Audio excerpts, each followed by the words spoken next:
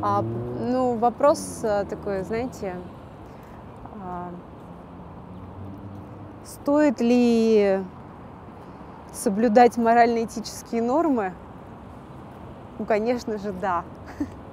Просто любой художник, а, еще Пушкин Александр Сергеевич, помните, в «Маленьких трагедиях», сказал, что гений и злодейство – две вещи несовместных.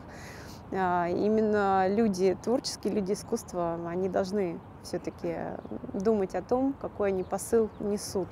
И что касается насилия, оно может а, быть э, показано как эм, во благо, так и во зло. Вы же вы понимаете, что тут э, художественный замысел, он может быть разный. Поэтому где-то это должно звучать, чтобы у людей открылись глаза. Что...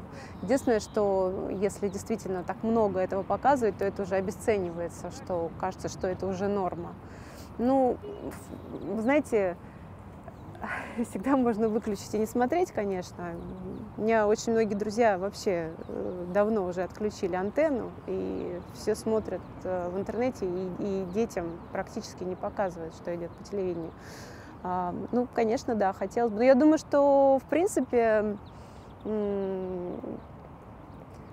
какая-то цензура должна существовать, да.